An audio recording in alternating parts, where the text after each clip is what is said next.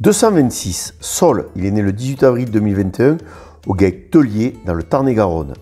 Il est qualifié DRJ comme le 228, son demi-frère. Ils sont tous deux fils d'Oteiza, un taureau de monde naturel, mixte élevage et très typé. Sa mère Nabina, fille de Jackson, est une vache sur laquelle on a peu d'informations sur la production car l'élevage Tellier vient juste de redémarrer le contrôle VA4. Le profil de ce veau est très similaire à son demi-frère.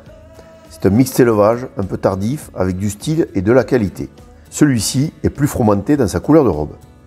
Il a une belle tête sympathique et montre un super caractère paisible. Un excellent père à femelle avec une excellente ouverture pelvienne et un pédigré très neutre. Sa mise à prix sera de 3000 euros.